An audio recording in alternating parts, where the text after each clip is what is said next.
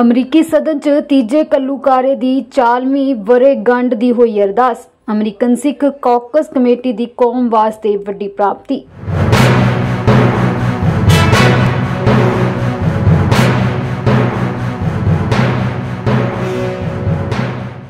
Monsoon ਦੇ ਆਗਾਜ਼ ਤੋਂ ਪਹਿਲਾਂ ਕੱਗਰ 'ਚ ਸਫ਼ਾਈ ਪ੍ਰਬੰਧਾਂ ਦਾ ਜਾਇਜ਼ਾ ਲੈਣ ਪਹੁੰਚੇ ਸੀਐਮ ਭਗਵੰਤ ਮਾਨ। ਕਿਹਾ, ਹੜ੍ਹ ਆਉਣ ਤੇ ਮੁਆਵਜ਼ਾ ਦੇਣ ਦੀ ਥਾਂ ਉਸੇ ਪੈਸੇ ਤੋਂ ਪਹਿਲਾਂ ਪ੍ਰਬੰਧ ਹੋ ਜਾਣ ਤਾਂ ਇਲਾਕੇ ਵਸਦੇ ਰਹਿਣਗੇ।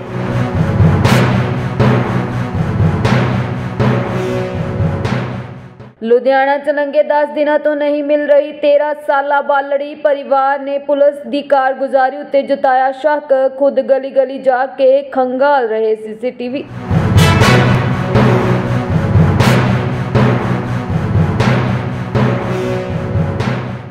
ਮੋਗਾ ਚ ਨੈਸ਼ਨਲ ਹਾਈਵੇ ਦੇ ਨਿਰਮਾਣ ਚ ਕਰੋੜਾਂ ਰੁਪਏ ਦਾ ਕਪਲਾ, ਪਟਵਾਰੀ ਅਤੇ ਸਾਥਣ ਉੱਤੇ ਮਾਮਲਾ ਦਰਜ, ਪਟਵਾਰੀ ਗ੍ਰਿਫਤਾਰ, ਸਾਥਣ ਫਰਾਰ।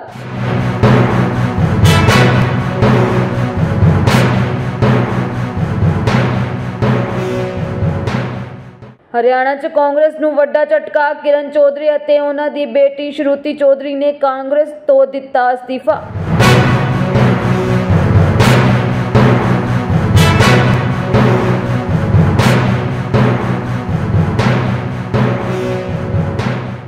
ਆਸ਼ਾ ਵਰਕਰਜ਼ ਫੈਸਿਲਿਟੇਟਰਸ ਦੇ ਸਾਂਝੇ ਮੋਰਚੇ ਵੱਲੋਂ ਪੂਰੇ ਪੰਜਾਬ 'ਚ 21 ਤੋਂ 28 ਜੂਨ ਤੱਕ ਸਿਹਤ ਵਿਭਾਗ ਦੇ ਸਾਰੇ ਕੰਮ ਰਹਿਣਗੇ ਠੱਪ।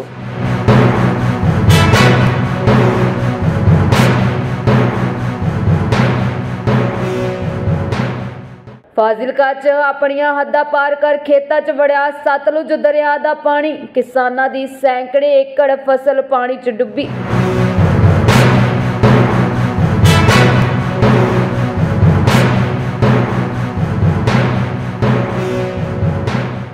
ਤੀਹ ਜੂਨ ਤੋਂ ਮੁੜ ਸ਼ੁਰੂ ਹੋਵੇਗਾ ਪ੍ਰਧਾਨ ਮੰਤਰੀ ਮੋਦੀ ਦੀ ਮਨ ਕੀ ਬਾਤ ਪ੍ਰੋਗਰਾਮ।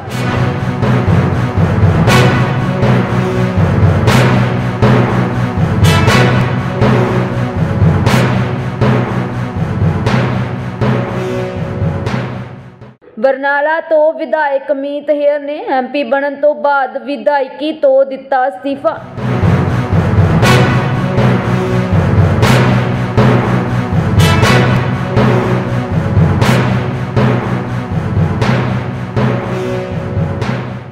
ਸੰਗਰੂਰ ਚ ਨਹਿਰਾਂ ਚ ਆਇਆ ਪਾਣੀ ਤਾਂ ਆ ਬਜ਼ੁਰਗ ਨੇ ਪਾਇਆ ਭੰਗੜਾ, ਕਹਿੰਦੇ ਮਾਨ ਸਰਕਾਰ ਚ ਤਾਂ ਨਜ਼ਾਰੇ ਆ ਗਏ।